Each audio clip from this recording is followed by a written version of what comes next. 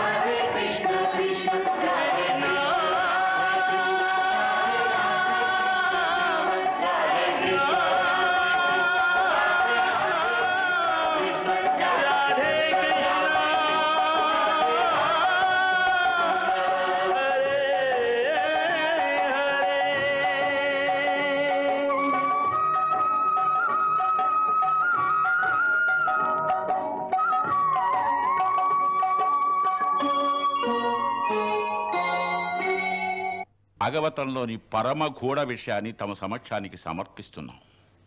భాగవతంలో దాని శీర్షిక ఉద్ధవుని వ్రజయ. ఈ విషయంలో హిందీ సాహిత్యంలో ముఖ్యంగా భక్త శిరోమణి మొదలుకొని మహాకవి రత్నాకర్ వరకు అసంఖ్యాక కవులు వేలాది రచన చేశారు. సాహిత్యకారులు దార్శనికులు వేలాది గ్రంథాలలో ఈ గూఢ విషయాన్ని గుర్చి వ్యాఖ్యానాలు చేశారు. అయినప్పటికీ తేలినదేమిటంటే ఎవ్వరూ కూడా పూర్తిగా ఈ విషయాన్ని లోతుగా పరిశోధన చేసి పరమార్థాన్ని అందుకోలేకపోయారు. వేలాది సంవత్సరాల గొప్ప గొప్ప సాధువులు హరికథాదాసులు ఉద్ధవుని వ్రజయాత్రను గురించి కథలు చెబుతున్నారు.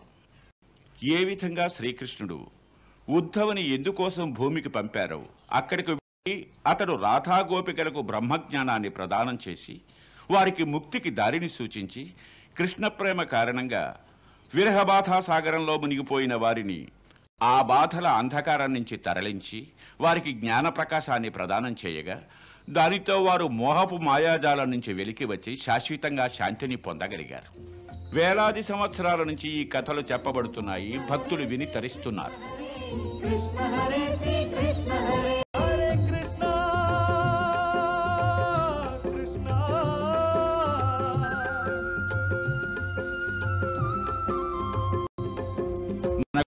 ఆధ్యాత్మిక పరమార్థాల వలె ఉద్ధవుని వృత్తం ఎంత నిగూఢమైనది లోతైనదంటే ఏ మానవ మాత్రుడు దీన్ని గురించి నిర్ణయించలేడు మేము ఈ గూఢ ఫిలాసఫీని గ్రహించగలిగాం. మేము దీని అర్థాన్ని ఇతరులకు వివరించగలం. మేము నిర్ధారణే కాదు ఆ ప్రయత్నం కూడా చేయలేదు. మేము గ్రంథాలలో చదివినది సాహిత్యంలో గ్రహించినది కొందరు మహాత్ములు సాధువులు మరి గొప్ప గొప్ప హరిదాసుల ద్వారా విన్నాము. వాటి ఆధారంతో ఎలా భగవతి వీణాపాణి ప్రేరణ కలిగించిందో ఆ కథలనే మేం మీ అందరికీ సమర్పిస్తున్నాం.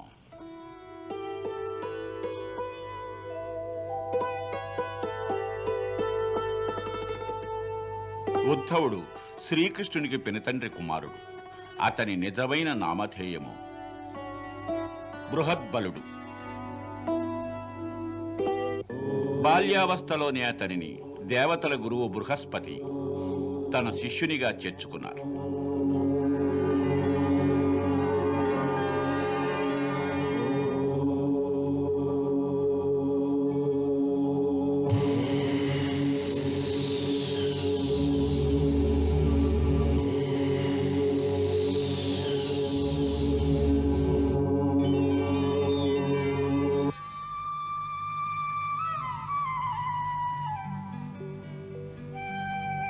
దేవగురువు బృహస్పతి ద్వారా అతనికి బ్రహ్మజ్ఞానం ప్రాప్తించినది. దాని వలన అతడు సదా భగవంతుని అగోచర దోషరహిత నిర్గుణ నిరాకార రూపాల చింతనలతో లీనమైపోయాడు.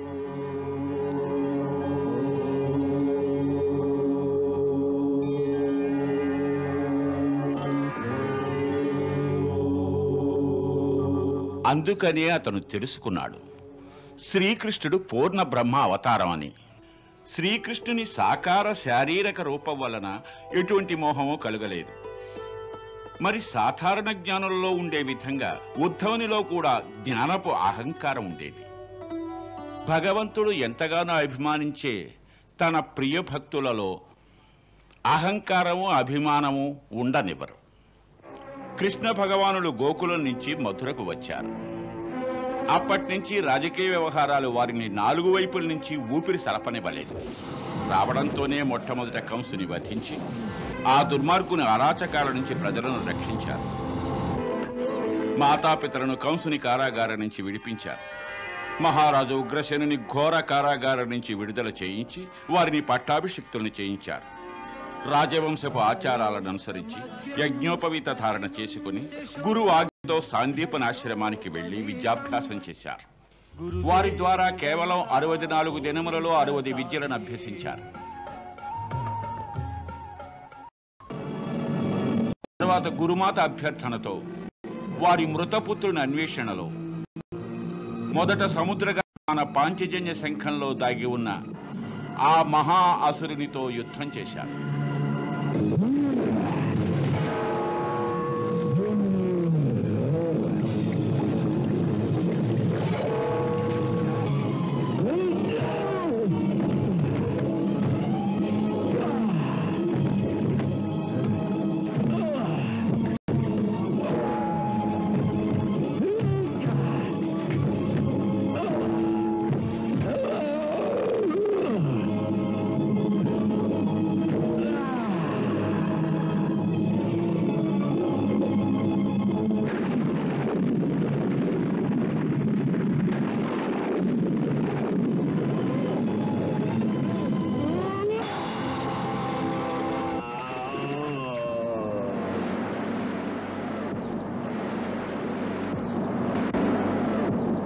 తదుపరి స్వయంగా యమపురిలో యమరాజు వద్దకు వెళ్ళి పునర్దత్తుని తిరిగి తీసుకొచ్చారు. అతనికి పునర్జీవనం ప్రసాదించి గురుదక్షిణ అనే రుణాన్ని తీర్చుకున్నారు.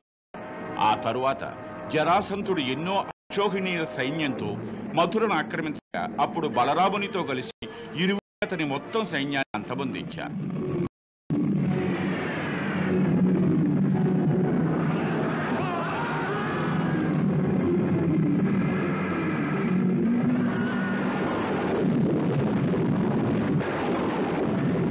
వారు సాధించిన విజయాల ఖ్యాతి దేశ దేశాలలో మారుమ్రోగిపోయేది.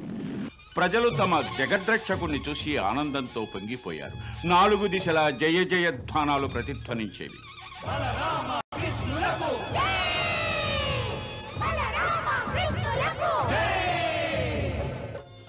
ఈ మర్యాదలు జయ జయధ్వానాలు నాలుగు దిశలా వ్యాపించిన ఖ్యాతి రాజమందిరంలో ఆడంబరాలు. ఆ ఆడంబరాల నడుమ వారి మనస్సు లగ్నమయ్యేది కాదు.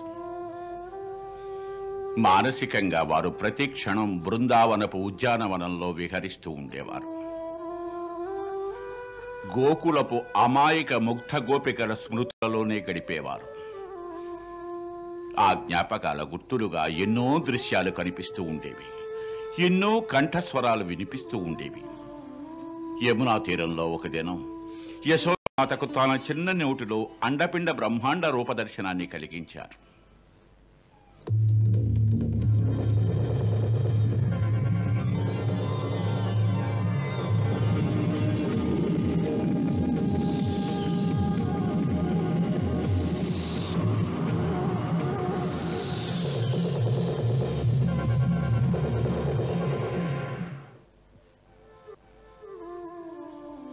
అదే యమునా తీరాన. పెద్దవారై రాధతో కలిసి ఎన్నో సాయం సమయాలు నిశ్శబ్దంగా ఒకరి కళ్ళలో ఒకరు చూసుకుంటూ గడిపేవారు. ఆ రాధని కృష్ణుడిగా మార్చారు. వారు స్వయంగా ఆమె కొంగును ఆయన ధరించి రాధగా మారారు. మరో దినం అదే రాధకు ప్రతిదినం స్వప్నంలో కలుసుకుందామని మాటిచ్చి యమునా తీరాన వదిలి వెళ్ళిపోయారు.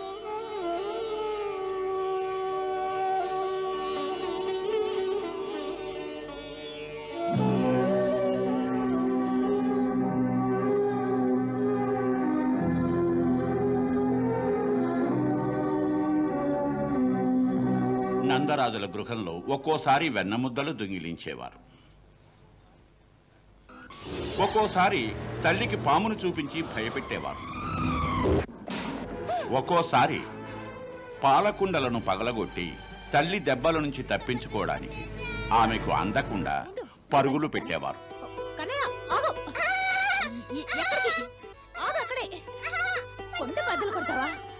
నిన్ను చూడేం చేస్తాను. అదే ఇంటి ఆవరణలో ఒకరోజు తల్లి వారిని రోలుకు కట్టివేసినప్పుడు దానిని చూసి దేవతలు కూడా చింతించారు. యశోదా ఎంత కఠినూరాలైతీవి మాత. యశోదా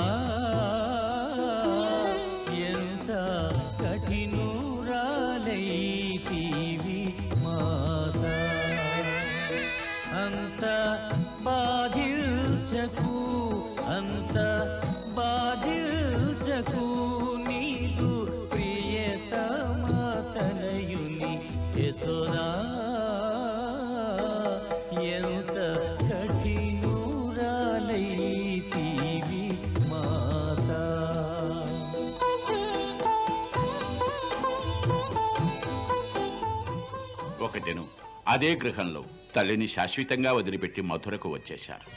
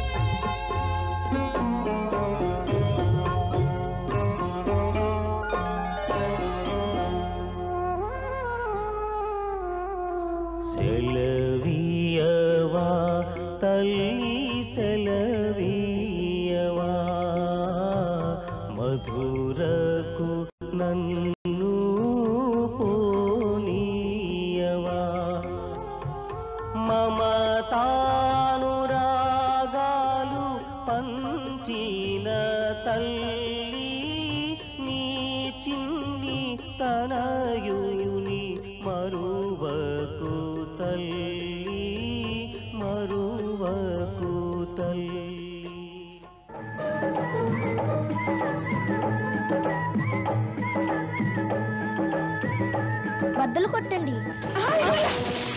ఒక్కోసారి నదీ తీరంలో గొల్లభామల కుండలు పగులగొట్టేవా ఒక్కోసారి వాళ్ళ ఇళ్ళకే వెళ్ళి వాళ్ళ పాలకుండలు పగులగొట్టేవారు. మరి అదే ముగ్ధ గొల్లభామల ముందు వినోదం కోసం స్వయంగా నృత్యాలు చేస్తూ వారిని ఆనందింపచేస్తూ ఉండేవారు. రాధ చెల్లెలతో కూడి ఒక్కోసారి హోలీ వేడుకలు జరుపుకునేవారు. వారితో కలిసి రాసక్రీడల దివ్య లీలలను అభినయించేవారు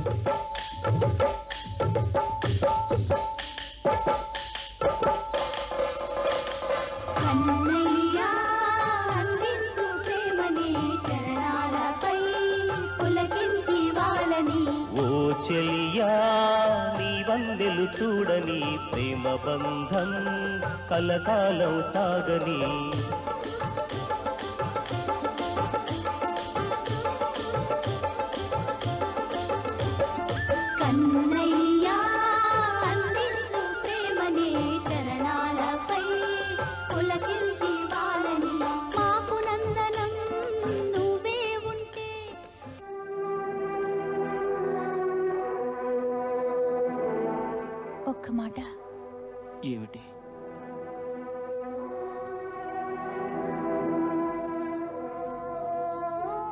వెళ్ళడానికి ముందు నాకు రెండు వాగ్దానాలు ఇవ్వాలి. ఏమిటో చెప్పు. మొదటిది స్వప్నంలో మాత్రమే కాదు. నేను ఈ ప్రపంచంలో ఉన్నంత వరకు నా మనోమందిరంలో ప్రతి క్షణం నువ్వు వసించాలి. రెండవది? రెండవది భూలోకాన్ని విడిచిపెట్టే లోపు మరొక్కసారి ప్రేమికురాలికి నీ పాదధూళిని ప్రసాదించాలి. పాత జ్ఞాపకాలలో విహరిస్తున్నారు. ఖచ్చితంగా తిరిగి వస్తానని గోపికలకు వాగ్దానం చేసి గోకులపు పొలిమేరలలో వారిని వదిలివేసి అక్రూరునితో సహా బయలుదేరారు.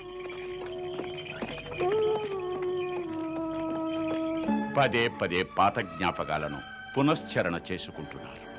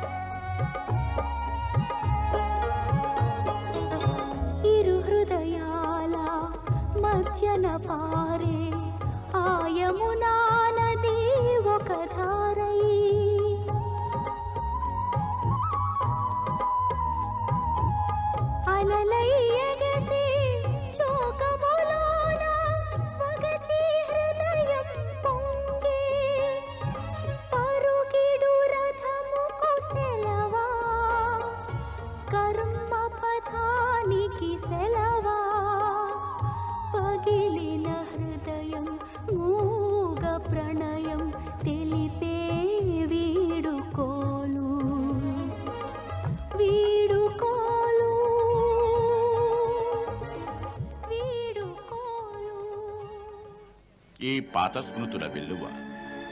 వారి మనసును విహ్వలము చేయగా అప్పుడు వారు తమ విశాల భవనంలో ఒంటరిగా లోకాన్నే మరచి పచార్లు చేస్తూ ఉండేవారు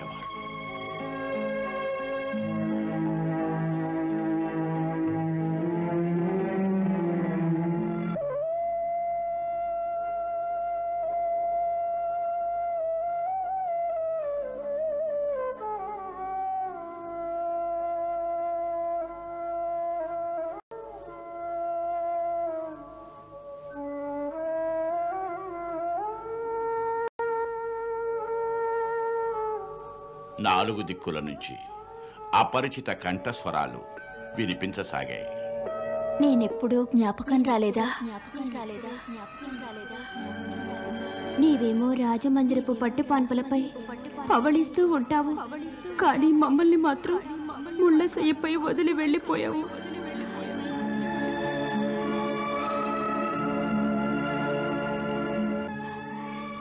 అక్కడి జై జయధ్వానాల హోరులు. నీకు మా హృదయాంతరాలలోని హాహాకారాలు వినిపించడం లేదా?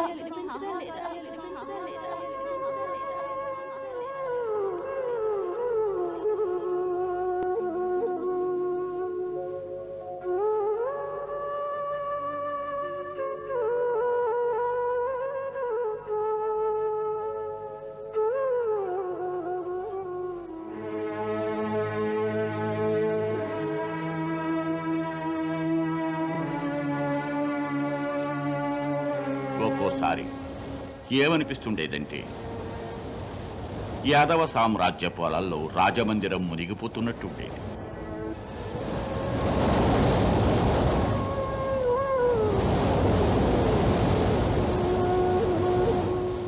పాత జ్ఞాపకాల తరంగాలు వారిని నాలుగు వైపుల నుంచి ఏ విధంగా చుట్టుముట్టాయంటే ఒక నావ గొప్ప గాలివాన ఉధృతంలో చిక్కుని ఆ గాలివానలోంచి బయటపడడానికి ఎటువంటి దారి కనిపించగా ఉండేది.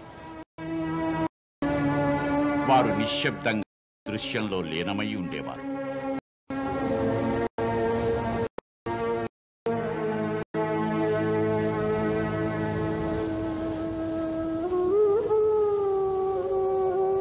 అవే అలల్లో ఎన్నో పరిచయం గల కంఠస్వరాలు వినిపించేవి.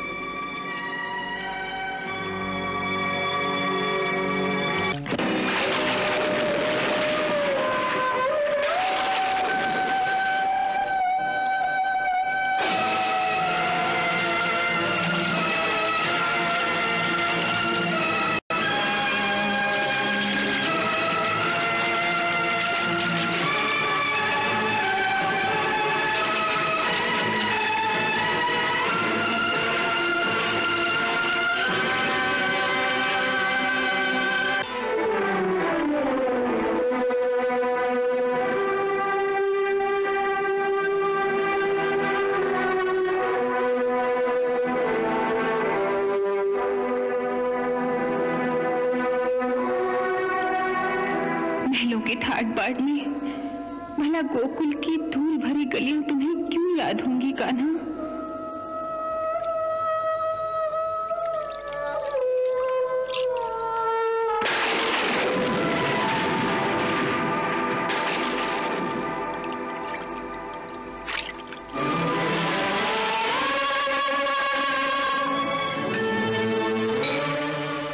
बीच बीच में राधा का चेहरा भी उभरता। परंतु वो कुछ कहती नहीं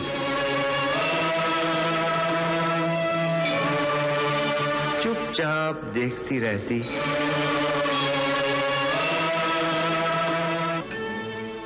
और फिर गुम हो जाती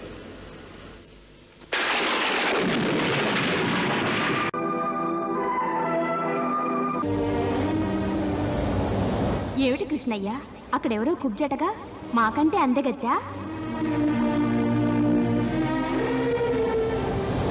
మాకంటే ఎక్కువగా ప్రేమిస్తున్నదా నిన్ను? మాకంటే మిన్నగా నిన్ను. ఈ త్రిలోకాలలో ఎవ్వరూ ప్రేమించలేరు. వెళ్ళు కృష్ణయ్య.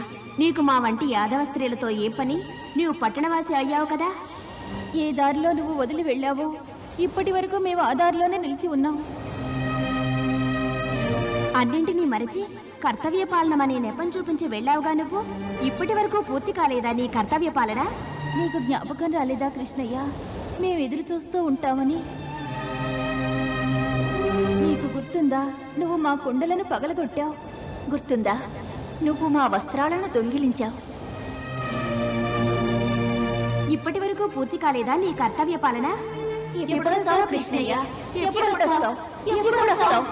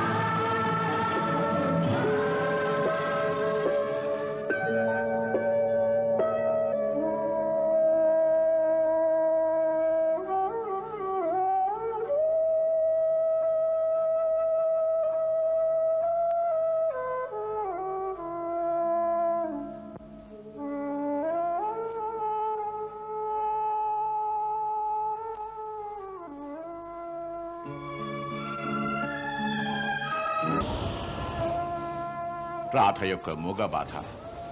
కృష్ణ భగవానులకు సహించరానిదైనది వారి విధంగా అన్నారు నీవు ఏవైనా మాట్లాడు. నీవు మాపై నిష్ఠూరాలువే.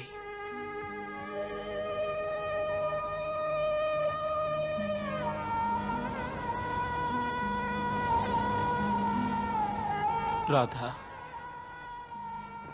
నీవు వాళ్ళందరిలాగే ఈ కృష్ణయ్యను మోసగాడిగా భావిస్తున్నావా?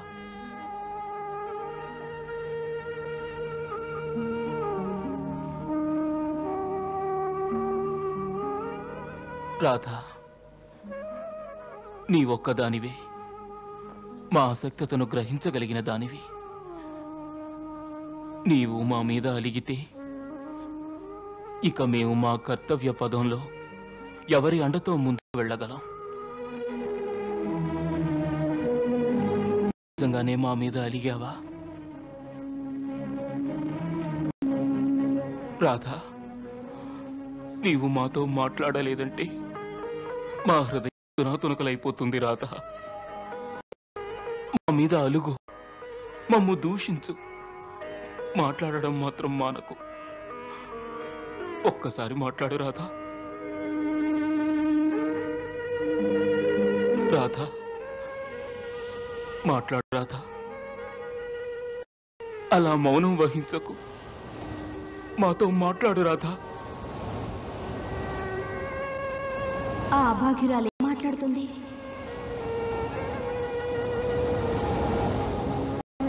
నువ్వు వెళ్ళినప్పటి నుంచి రాధ మోగదానిలా పగలు రాత్రి యమునా తీరంలో మౌనంగా కూర్చుంటుంది. ఏం మాట్లాడదు. తన మనసులో ఏమున్నదో ఎవరికీ చెప్పదు. అప్పుడప్పుడు ఈమె ఈ ప్రపంచాన్నే పట్టించుకోదా అనిపిస్తుంది. ఏదో సుదూరకాలలో విహరిస్తున్నట్టుగా ఉంటుంది.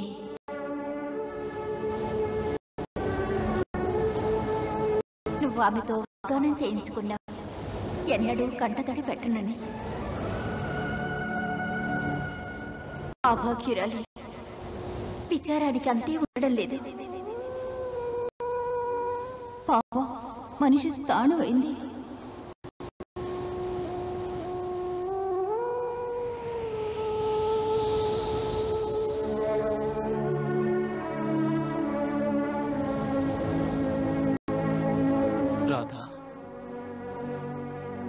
ఒక ప్రశ్నకు సమాధానం ఇవ్వు మా మీద నమ్మకం లేదు సరే. మరి నీకు? మా మీద ప్రేమ కూడా మాట్లాడు రాధా. మా మీద ప్రేమ కూడా లేదా? అలా శూన్యానికి చూస్తావే?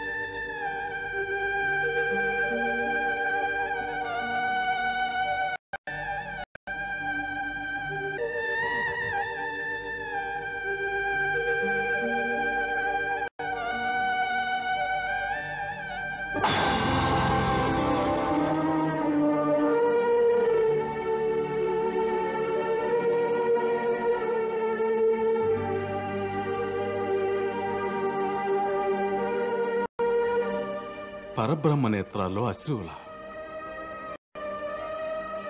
మహాత్మా ఏమిటి వైపరీత్యం?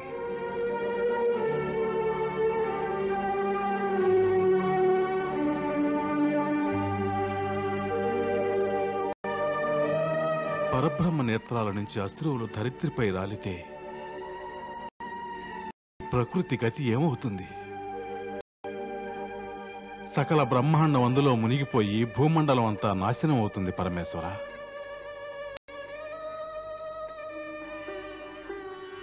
గంగ యొక్క వేగాన్ని శివదేవులు అడ్డుకొనగలిగారు.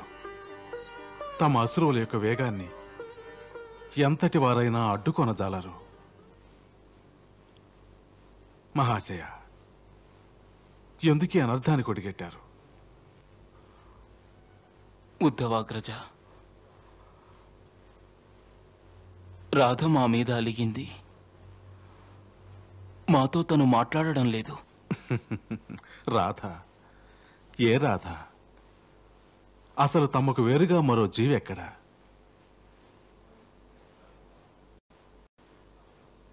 మహాత్మా తమరు అవతరించి లోకంలోని సకల జీవులను ఉద్ధరించడానికి కానీ వారిని ఉద్ధరించడానికి బదులుగా తమరు వారి వినాశనానికి కారణమవుతున్నారు.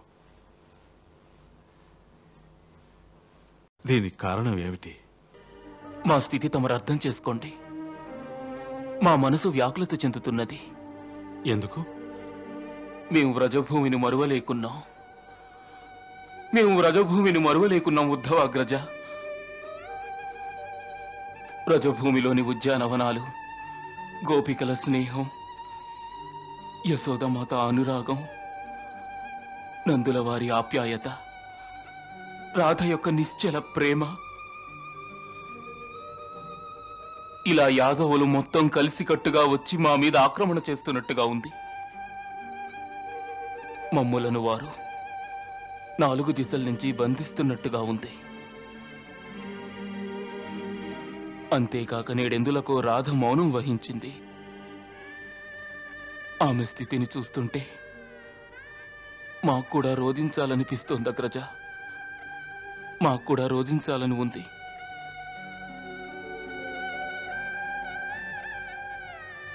ఉద్ధవాగ్రజ తమరు మహా జ్ఞాన సంపన్నులు తమరే మాకు ఏదైనా శిక్షణ ఇవ్వాలి.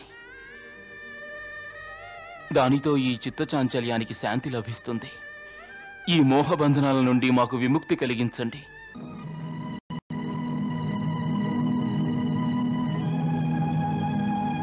మేము తమకు శిక్షణ ఇవ్వాలా అవునగ్రజ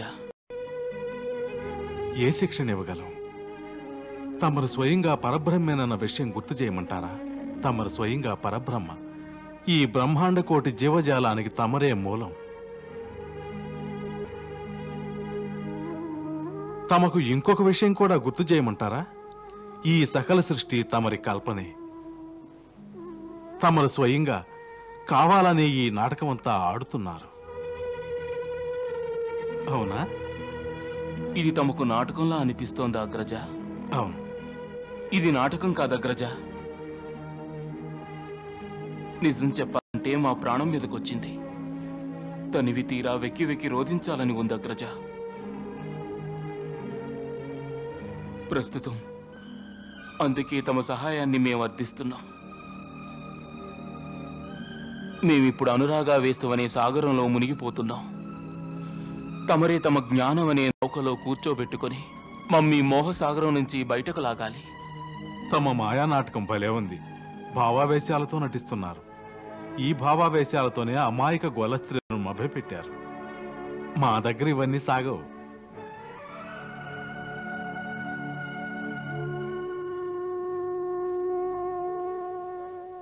తమకు మా మాటల మీద నమ్మకం కలగడం లేదు కదా గ్రజ? బొత్తిగా కలగటం లేదు. అది మోహం అనే మాయ. అజ్ఞానులు అందులో మునిగిపోగలరు. కానీ జ్ఞానులైన వారు ఈ భావావేశాల్లో మునిగిపోలేరు. జ్ఞానం అనేది ఓ పర్వతం లాంటిది. అది సాగరపు అలలకి ఎంత మాత్రం చెదిరిపోదు. సత్యమే. పర్వతం స్థిరంగానే ఉంటుంది. ఎప్పటికీ ఏమీ కాదు. మరి సున్నిత హృదయం కలవాడు అతి త్వరగా కరిగిపోయే హృదయం కలవాడు అయినా ఓ అభాగ్యుడు ఈ భావావేశాల అలలలో కరిగిపోవటం ఖాయం. కానీ తమరు పరమ జ్ఞానులు స్థిరంగా ఉంటారు. మరి మేము అవివేకులం చదువురాని అజ్ఞాన మానవులం. మాలాంటి అజ్ఞానులు ఈ భావావేశాల సాగరంలో మునగకుండా ఎలా ఉండగలం? తమరు అజ్ఞాన మానవులా? అవునగ్రజ అసలు మేమున్న ఊళ్ళో ఒక పాఠశాల కూడా లేదు. గోపబాలుడితో కలిసి గోవులను కాచుకుంటూనే బాల్యం గడిచింది. కనుక చదువురానివాడు అజ్ఞానే అవుతాడు. చూడండి కృష్ణయ్య. మా దగ్గర తమ నిజ స్వరూపాన్ని దాచే ప్రయత్నం చేయకండి. మేము దేవతల గురువైన స్వయం బృహస్పతుల వారి శిష్యులం. మా గురువులు బృహస్పతుల వారు తమ అవతార రహస్యాన్ని మాకు విశదీకరించారు. స్వయంగా ఆ పరబ్రహ్మే మీ చిన్న తమ్ముడి రూపంలో ఈ ధరిత్రి మీద అవతరించారని. అప్పటినుంచే మేం మా హృదయంలో తమను పూజిస్తున్నాం. పూజిస్తున్నారా? అవును. ఏం గోచరించింది? ఒక నిర్వికారమైన అనంతమైన తేజస్సు.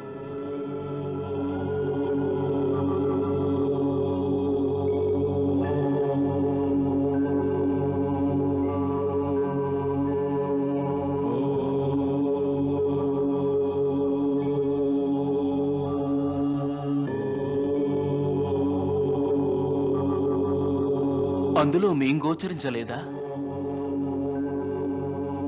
మా ముఖం మా హస్తాలు పాదాలు మా నేత్రాలు. తమరి హస్తాలు పాదాలు నేత్రాల?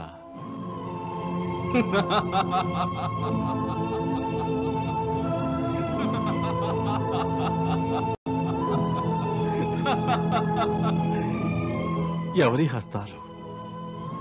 ఎవరి పాదాలు? ఎవరి నేత్రాలు?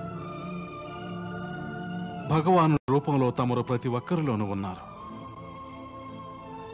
అలాంటప్పుడు ఎవరి హస్తాలు ఎవరి పాదాలు ఎవరి నేత్రాలు చూడగలను? భగవాన్ తమకేదైనా స్వరూపం ఉంటే అది తమ యొక్క విరాట్ స్వరూపం. అందులో కోట్లాది హస్తాలు కోట్లాది ముఖాలు ఉన్నాయి. మరి తమ యొక్క ఏ హస్తాన్ని ఏ ముఖాన్ని చూడాలంటారు? అందువల్ల జ్ఞాని కేవలం ఒక్క నిర్వికారపు కల్పనలో స్థిరాడు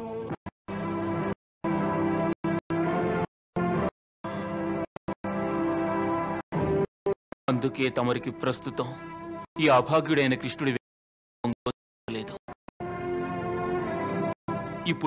భావావేశాల అలలలో మునిగిపోతున్నాం. చూడండి వారి భావావేశాల అలలు ఏ విధంగా మాపైకి పొంగుతూ వస్తున్నాయో. తమరు దివ్య చక్షువులు కలవారు తమరు స్వయంగా చూడగలరు.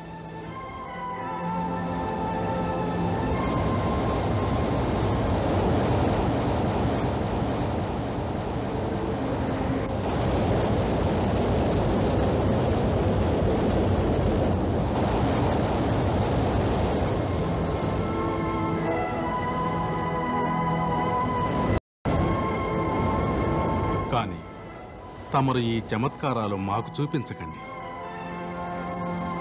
వాటితో సాధారణ మానవులను భ్రమింపజేయగలరు కానీ జ్ఞానపురుషుల్ని భ్రమింపచేయలేరు.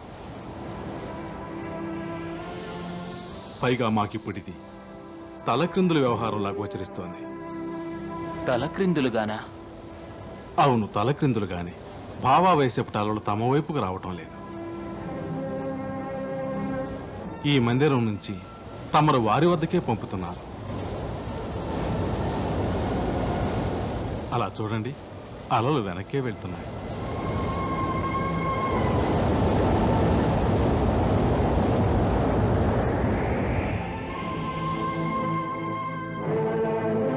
ప్రేమికులకు జ్ఞానులకు అదే వ్యత్యాసం. ప్రేమికులకు ఈ అలలు తమ వైపుకు వస్తున్నట్లుగా గోచరిస్తాయి. కానీ జ్ఞానులకు ఈ అలలు తమ నుంచి దూరంగా వెళ్తున్నట్టు గోచరిస్తాయి. ఎందుకంటే జ్ఞాని సత్యాన్నే గ్రహిస్తాడు. అందుకే మాకు అలా గోచరిస్తోంది. తమరి అలల్ని వారి వద్దకే పంపించి వారిని భావావేశంలో ముంచబోతున్నట్టు. వారు తమ ప్రేమలో మునిగిపోయి తప్పించిపోయే దృశ్యాన్ని చూసినప్పుడు తమరు ఆనందాన్ని పొందగలుగుతున్నారు. అందుకే తమరు ఇలా చేస్తున్నారు. మాకిప్పుడు తమ మీద జాలి కలగటం లేదు. ఎందుకంటే దీనివల్ల తమకు ఎలాంటి హాని జరగదు గనుక. కానీ తమరు అభాగ్యులైన వారిని తమ ప్రేమజాలంలో వారిని బాధ పెడుతున్నారు. మాకు వారి అందే జాలి. మాకు తమ వ్యవహారం నచ్చటం. ఎందుకంటే మా గురుదేవుల వాక్కు ప్రకారం గోపికలందరూ మహారుషులు వారు ఎన్నో యుగాల తపస్సు మరియు సాధన సంపత్తి చేత తమ కోసం గోపికలుగా అవతరించారు. ఎన్నో యుగాల వారి తపస్సులకు ప్రతిఫలంగా తమరు. వారికి వాస్తవిక జ్ఞానాన్ని ప్రసాదించి లౌకిక బంధనాల నుంచి విముక్తుల్ని చేయవలసింది. గోకులాన్ని వదిలి వచ్చే ముందైనా తమరు వారికి బ్రహ్మజ్ఞానాన్ని ప్రసాదించి ఉండవలసింది. వాస్తవిక నిర్వికార స్వరూపం యొక్క జ్ఞానాన్ని ఇవ్వవలసింది. దానితో వారి ఆత్మలకు పరమశాంతి ప్రాప్తించి ఉండేది. కానీ తమరు వారిని లౌకిక దుఃఖ బంధనాలలో వదిలి వచ్చేశారు వాస్తవంలో మోహానికి మరో రూపమే ప్రేమ. ఆ మోహం దుఃఖానికి మూలం. కానీ తమరు వారిని మోహజాలంలో వదిలి రావటం తమకు న్యాయం కాదు మహాత్మా.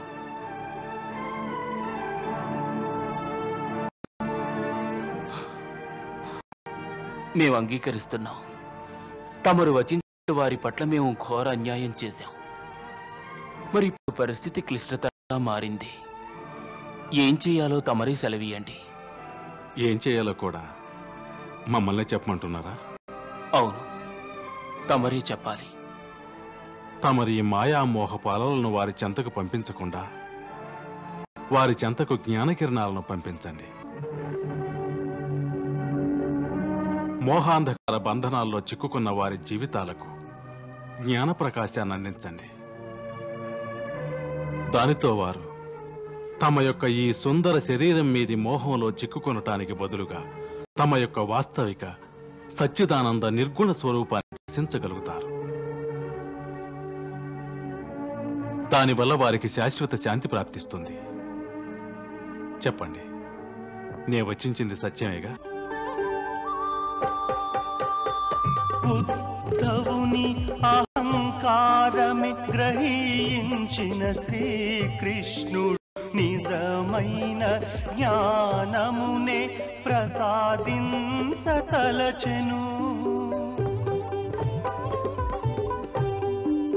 నిజమైన జ్ఞానముని ప్రసాదించతలచెను.